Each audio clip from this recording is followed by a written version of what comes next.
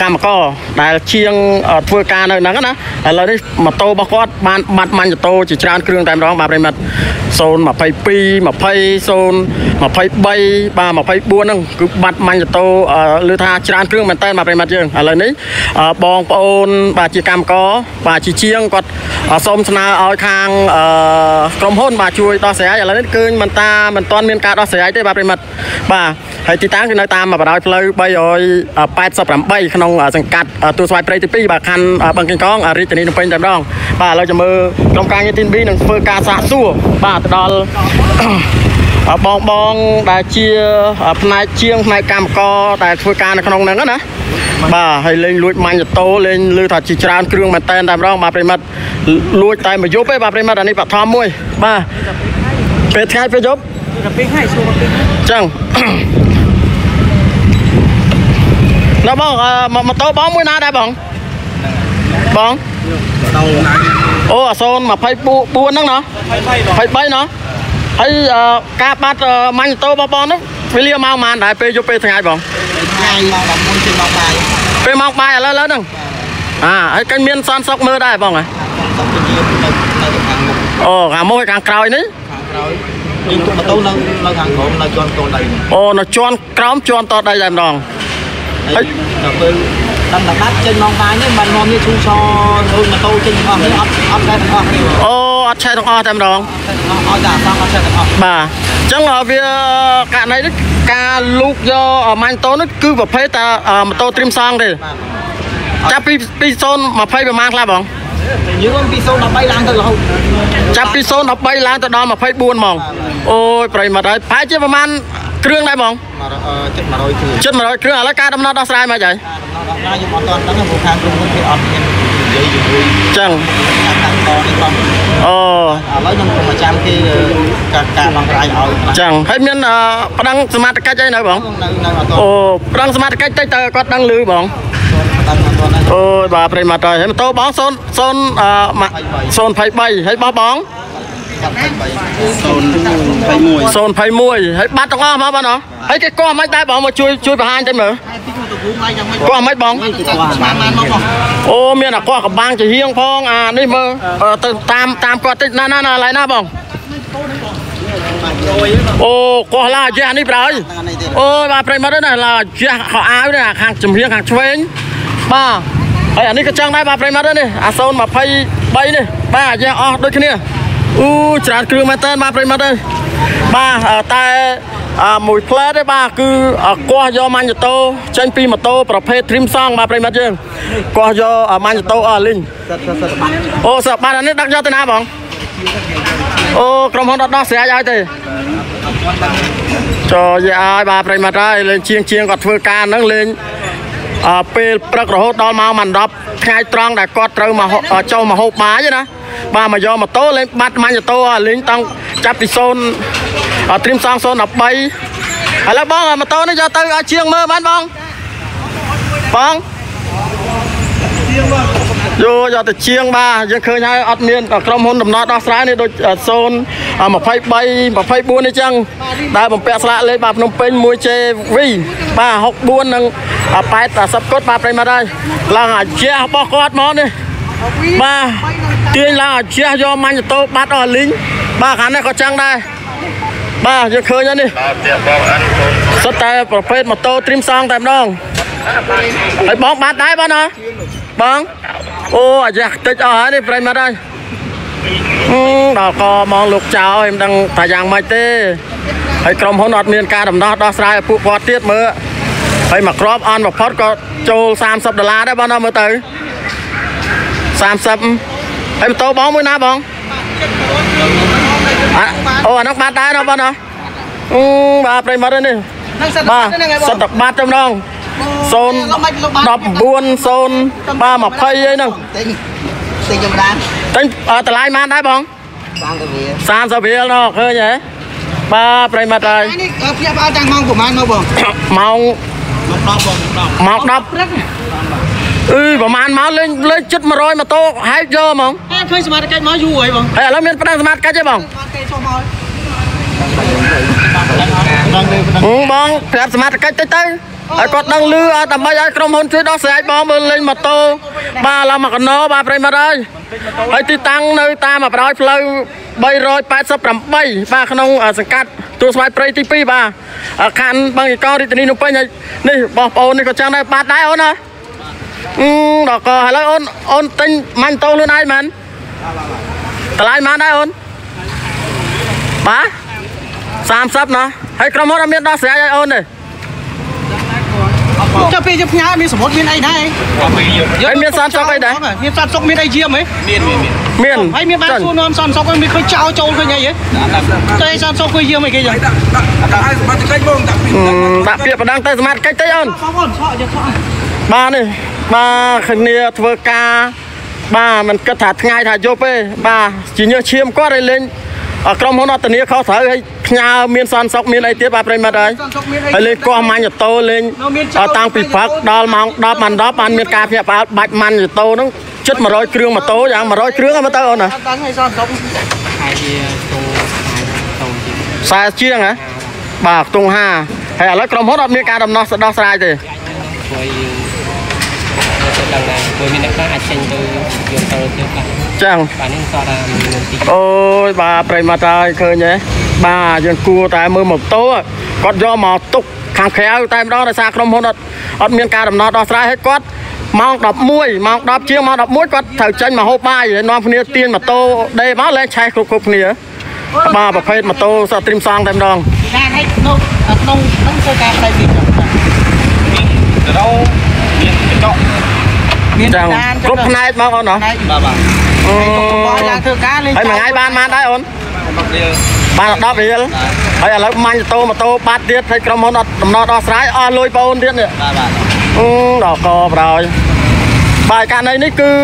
ឲ្យយកតែម៉ូតូត្រីមសងទេម៉ាញ់ម៉ូតូបាទងាយស្រួលដោះងាយស្រួលហែកបាទប្រិមត្តហើយនេះយើងឃើញហើយកំបាំងអស់ហើយព្រមបាទដាច់កំបាំងអាជះបាទខោអាវអាជះអីកតិចកទីអស់ហើយយើងឃើញហើយបាទមិនធម្មតាចោលនេះមិនដឹងថាចោលវាប្រមាណអ្នកទេបាទប្រិមត្តបាទបណ្ដាលឲ្យហែកយកម៉ាញ់ម៉ូតូសុទ្ធតែប្រភេទម៉ូតូត្រីមសងចាប់ពី0បាទអា13រហូតទៅដល់23 24បាទប្រភេទណាប្រភេទម៉ូតូត្រីមសង បាទហើយទីតាំងគឺនៅត្រង់ចំណុចលើផ្លូវបាទ388ក្នុងសង្កាត់បាទទួលស្វាយព្រៃ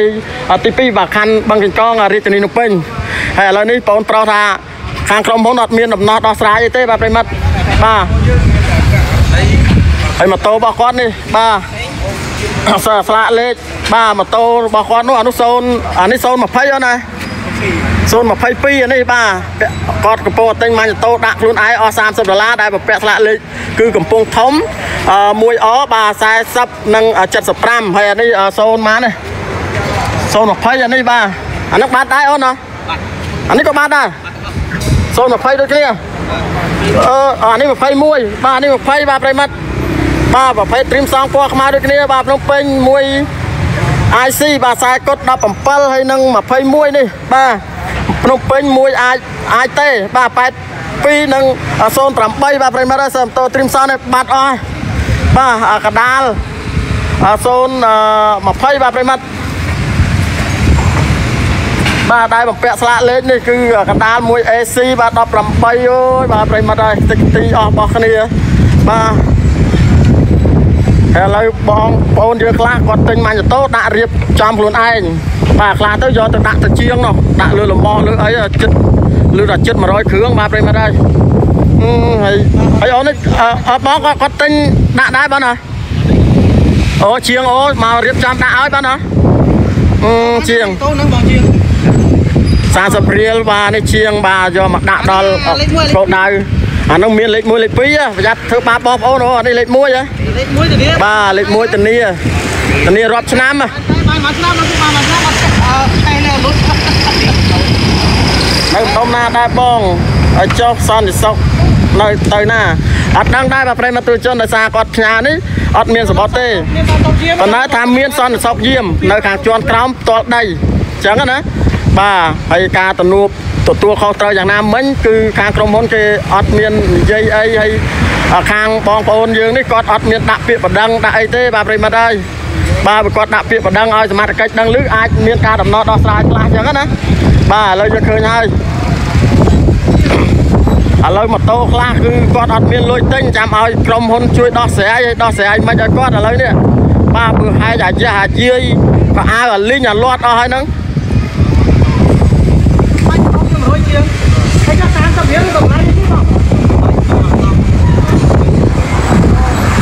អូអញ្ចឹងអញ្ចឹងអា23 24 100ជាងអាអឺបាទប្រិមត្តអើយម៉ូតូត្រៀមសងចាប់ពី23បាទ24តម្លៃវា100ដុល្លារជាងអញ្ចឹងបាទណាអើយដល់កបដល់បាទប្រិមត្តនេះរបស់គាត់នេះ023បាទ23អឺដល់កបដល់អញ្ចឹងបាទ023 24ម៉ាញ់តូវាមកគ្រាប់100ជាង បាទហើយដូចដូចរបស់គាត់ក៏អត់មានលុយទិញទេហើយបើខាងប៉ាន់ប៉ាន់នេះគឺ តែដឹកចេញនេះគឺមកគ្រាប់30ដុល្លារទេបាទ023អឺ013 15អីហ្នឹង14អីទៅនេះដឹកយកទៅ lại ជាងបាទប្រិមត្តយើង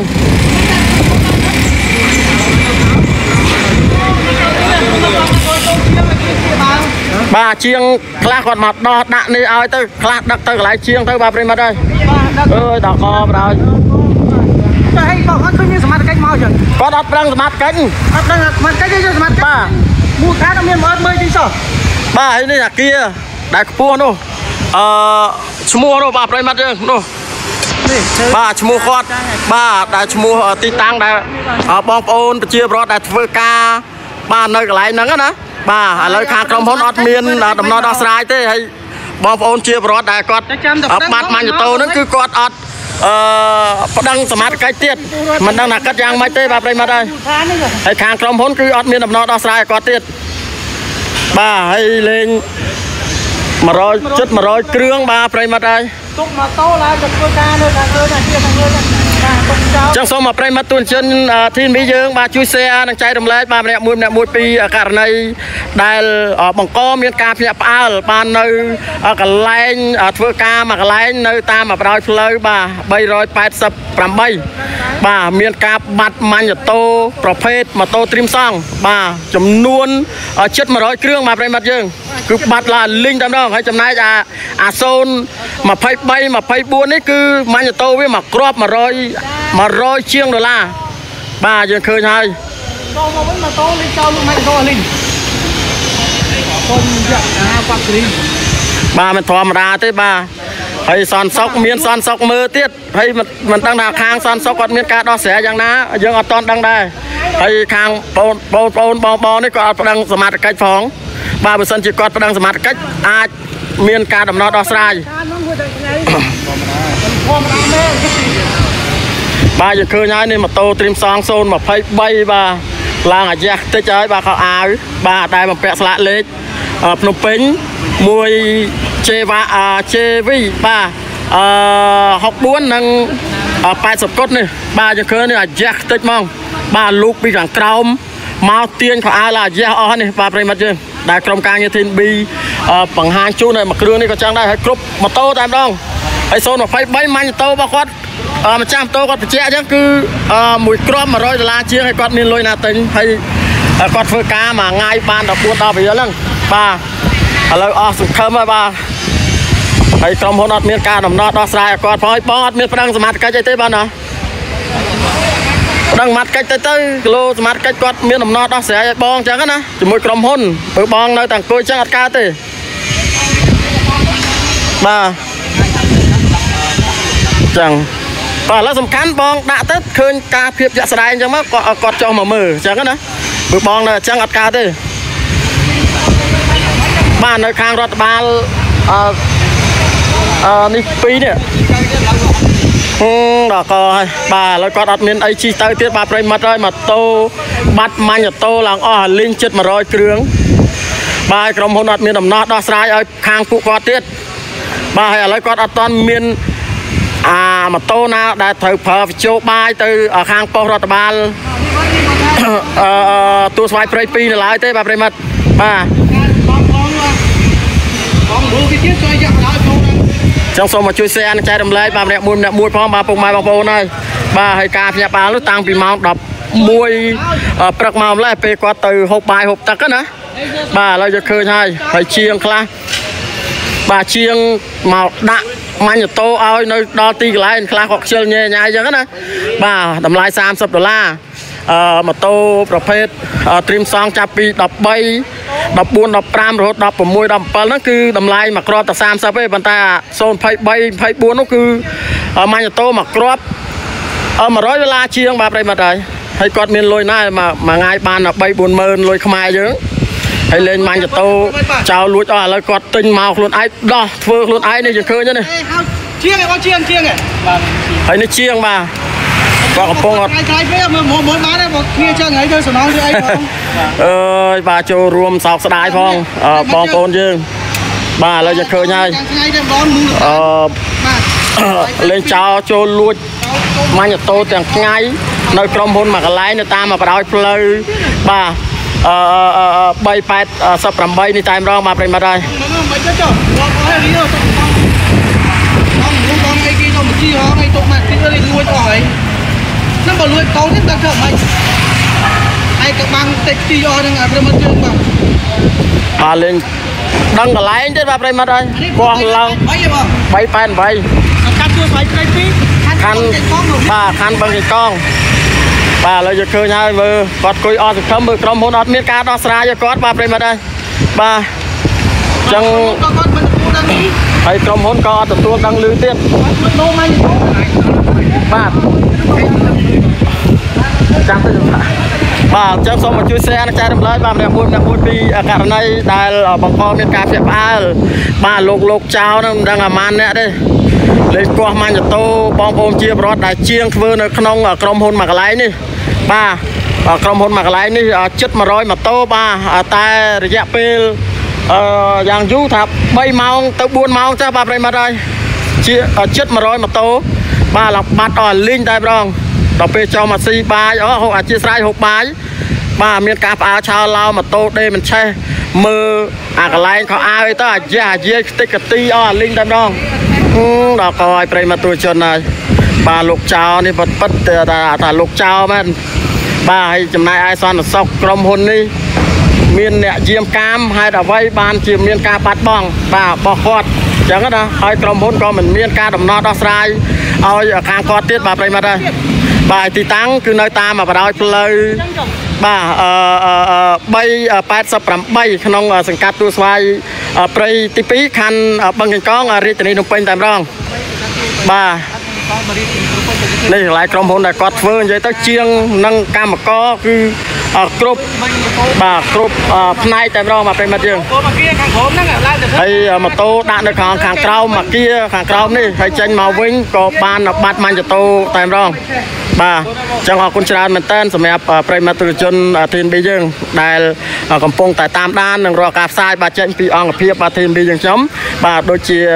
ខ្ញុំបាទបាទព័ត៌មានមួយរួមទាំងក្រុមការងារធីនប៊ីបាទក៏សូមលំអរកាយនិងគោរពលាអញ្ចឹងសូម